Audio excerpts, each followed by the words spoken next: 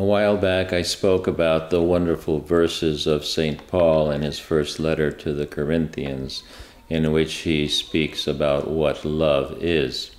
And practically on every one of these individual verses, the author of this book has a separate meditation.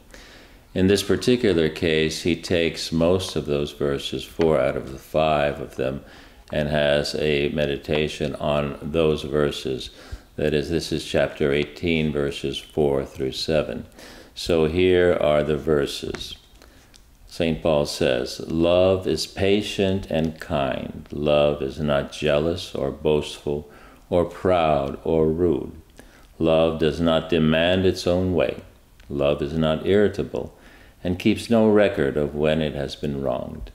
It is never glad about injustice, but rejoices whenever the truth wins out. Love never gives up, never loses faith, is always hopeful, and endures through every circumstance. So that's what St. Paul says. And now, this is the meditation by the author. He says, It seems that there are no stronger words about love than those of St. Paul. They express everything that makes us feel how necessary love is. They warm our soul and ignite in it that spark of love which spreads and fills our entire being, and with God's help spills over into everything which surrounds us. How cold and terrifying it is to think that we so easily fall away from love.